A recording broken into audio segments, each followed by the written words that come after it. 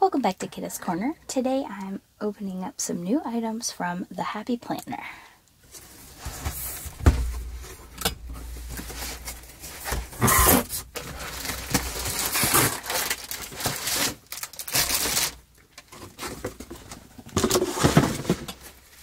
Got some new paper with a little colored accent on the side.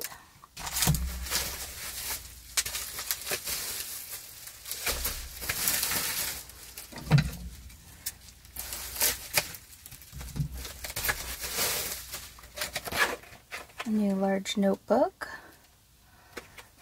I got mostly crafting themed items today.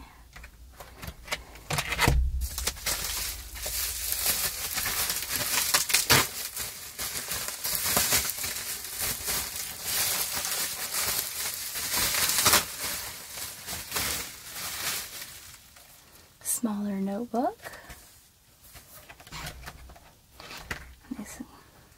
Simple. An accessory pack. Has a lot of different items in it, but let's take a look.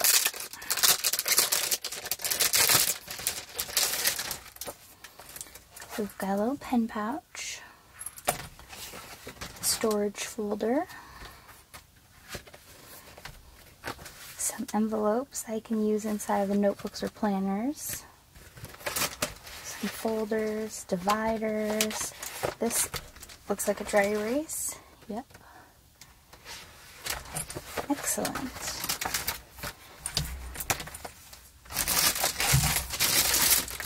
Now, I've never had one of these before. I got this actually to use with my planner because I travel a lot, either vacations or just going into the office, things like that. And I take my planner with me, and sometimes I get worried about these plastic rings getting beat up in my bag. So this is a folio to put my whole planner inside. It's got some extra pockets here, a mesh one, big one. You can put the back of your planner in there so it'll stay put. It's got smaller pockets here you can put notes and things in. It even has a zipper pocket. A little pen pouch. So this is very nice. I'm excited. I think this will work very well for what I want to do.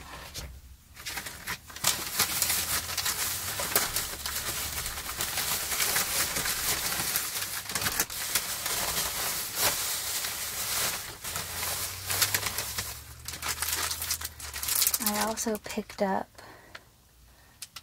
some special pages to make lists and priorities a larger pen pouch that actually has a strap so you can put it over the notebook or planner to keep it on the outside. Another notebook because I'm obsessed.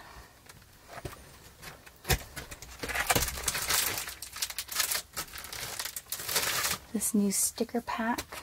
It's a lot of different types of things inside, but let's be honest, I bought it because I'm obsessed with the mail and it has all these little letter stickers. Lots of accents to use in my planners and notebooks. And then I also bought a couple packs of this add-on that matches these. This is for a planner. It's undated. So this way I can do the whole year with this craft theme using one of the covers from one of my notebooks. And I can even do just a few months of planner in the front half and then have some notebook in the back. If you've never used their products, I absolutely love them. I definitely suggest it.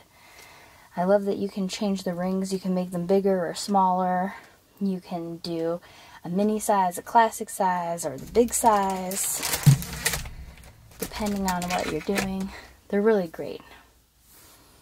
Anyway, that's all for today, so thank you for stopping by.